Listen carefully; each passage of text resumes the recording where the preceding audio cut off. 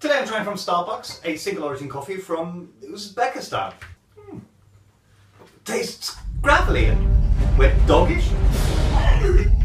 I find your lack of faith disturbing.